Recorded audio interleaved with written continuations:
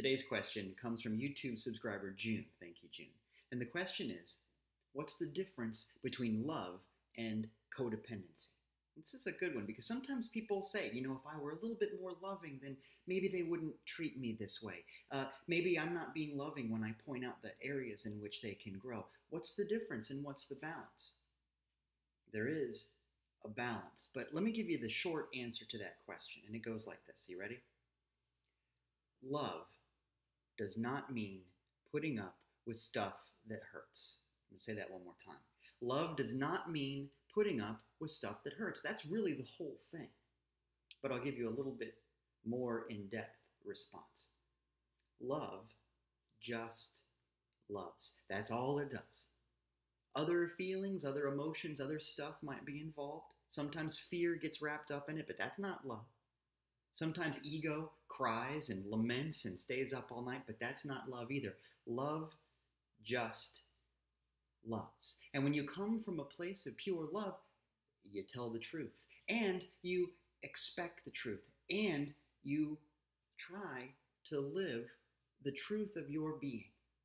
When you love somebody, you see past appearances. Maybe you've heard that expression, a face only a mother could love. Because when you love something, you see past the way that things are and you see into pure potentiality. And so when you really love someone, yeah, you don't get hung up on appearances. You see within, you see not just what is, but what can be.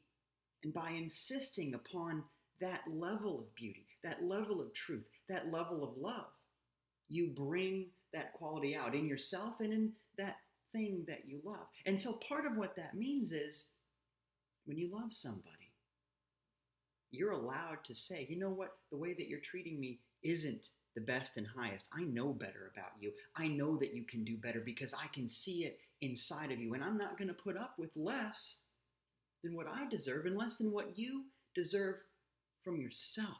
That's real love. Sometimes people say, you know, I'm, I'm going to be so loving that I'm not going to point out the areas in which that person can grow. But the truth is, that's not love at all. That's not very honest. And if nothing else, love tells the truth. So tell the truth, tell it lovingly. You're allowed to say, you know what? I love you so much that I am not going to put up with this crappy behavior. I love you so much that I demand you treat me the way that I deserve to be treated and that you treat yourself according to your best and highest. I know better about you. I see better about you. Stand up for what's true. And here's the, the catch when you talk that way and you think that way and you live that way, you got to hold yourself accountable too. What's the most loving thing you can say and do think?